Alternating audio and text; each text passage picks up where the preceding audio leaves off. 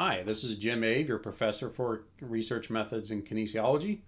In this uh, lecture, I'm going to cover the, the discussion section of the research paper assignment. But first, I'll review our research process and then I'll get into the discussion section for the paper. As a reminder, our research process. Um, after picking your topic, you conducted a literature review using the uh, secondary sources such as textbooks and other uh, overview type books. And then you also read the primary um, sources such as uh, original research. From there, you developed a research question and you developed a hypothesis. In our class, we did the null hypothesis. Other researchers will use a hypothesis saying what they expect to happen versus the null hypothesis, which is saying there's no change at all. And then from there, you develop your research methods. After you do that, a person who is actually doing a study, unlike you, you, you were just pretending to do a study, you will conduct a study. You'll collect data of some sort, numbers or words. You analyze the data, and you interpret the data, and you report the data, which means you're drawing some kind of conclusions and findings from this stuff. Uh, we talked in a previous lecture about the results section. And in that section, you're talking about, hey, what do we find here? We're using the statistics. Uh, that's analyzing and interpreting the data. And so that's what you would do in the other section. You just report what was found. Then in the discussion section, we'll answer the so what question. What do the findings mean? Uh, we'll break that down and I've also added application. How can I use this? So our discussion section, it's um, really the most challenging section to write.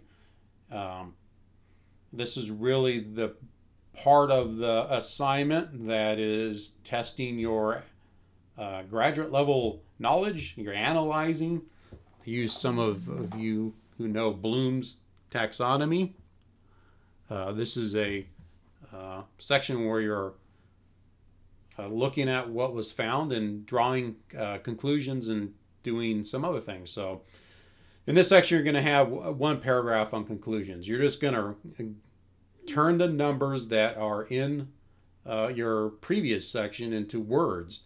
Mm-hmm. I, I, really don't want to see any kind of um, numbers in your one paragraph conclusion. And again, I'll give you an example here. Then you have a discussion section. It's two to three paragraphs. I want you to give me some recommendations, three to four paragraphs, and application, three to five paragraphs. So let me give you some actual examples here.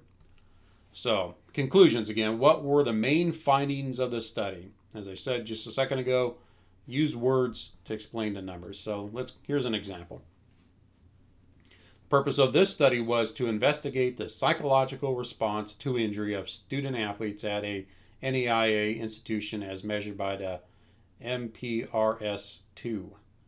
It was found that there was no significant differences in the psychological responses to injury in student athletes participating at that at a NAIA, NAIA institution. So what does that mean? Um, let's pull this apart a, a little bit. If we knew all the the background, the purpose of the study they looked at to see how student athletes responded to injuries. What was that like? And so the student compared groups, two groups of students or groups of students, and students were pretty much no change in them. They didn't psychologically have any damage because they were hurt. So that's what that means in real English. So that's your your conclusion should be something like that. They turn the word the numbers into words. Again, read other um, concluding articles uh, when we do this that give you help to do this, I should say. Now, the discussion section is I want you to explain, uh, I want you to provide a linkage between this particular study that you're pretending to do to research that was done previously. How are your findings or your pretend findings and results uh, similar to previous studies or not similar to previous studies. Um, uh, what are some theories out there that you've been reading about, and how can you uh, how does the findings of this pretend study fit into the theories? Uh, it's a pretty long example. It, um, I'm not going to read this to you. You can read this on your own. But this uh, student provided a good linkage to previous study and then what happened in her study when she did this. This student actually did this study um, in the first year of our program as a thesis. It was a fairly interesting uh, research study. So you can read that on, on, your own and see how she connected her findings to what was done um, by some of the other researchers in the field. Our next one is recommendations. What I want you to do is uh, how would you recommend to if if you're an athletic training emphasis, you're a sport administration emphasis, PE emphasis, stay in your specific area. So if you're a PE teacher and you're doing a PE uh, type study, how's the information from this particular pretend study? Uh, how would other PE teachers be able to use the material based on what was what was hap- what was found, pretend found in this um, pretend study. Just thinking about it as yourself, how would you use it? But that's the next section. That's application. So I'm trying to get you to think more globally. Um, uh, how could the other people in our area? So again, if you're a PE person, write to PE teachers. If you're an athletic trainer, write to athletic trainers. If you're a coach, write to coaches. If you're sport administration, write to sport administrators with this.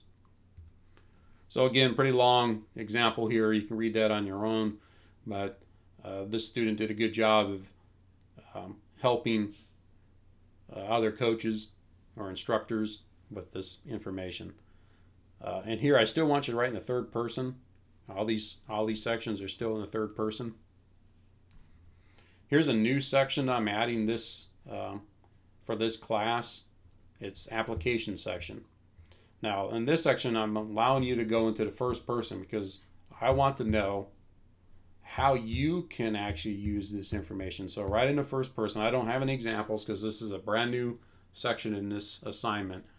Um, so, I want you to give me information on how you can see yourself as a PE teacher, as a coach, as an athletic trainer, as a, a future athletic director, or as a current athletic director how you can use the information from the findings uh, from the literature review uh, through the this eight weeks you've been in this class or, or so, how you can use the information um, in your particular profession. I'm interested to see uh, the application. Uh, what good is studying all this stuff we don't we can't use it in any way. This is supposed to be applied material, so we're, we're into this area of kinesiology that we're in because we like doing stuff. So that's what I want you to discuss is how can you use this information. I think it's always good to, with all your papers to end them with a summary, one paragraph uh, summarizing the whole project paper and one paragraph. Now, in conclusion of this particular lecture, um, I think it's really helpful to you, and I said it earlier, is to read the conclusion and discussion sections of, of, of the other journal articles uh, to help you see how uh, researchers write these sections, and that's true of all the other sections for your research paper assignment. Um, it's it's a helpful way for you to um, discuss the different areas in our in this assignment, and it will help you with writing the, the final section in this assignment. I hope you have uh, at least some fun uh, with this particular research paper assignment. I try to make it practical and um, and hopefully you enjoy your topic that you picked. As always, if you need help, let me know and I'm here to help you.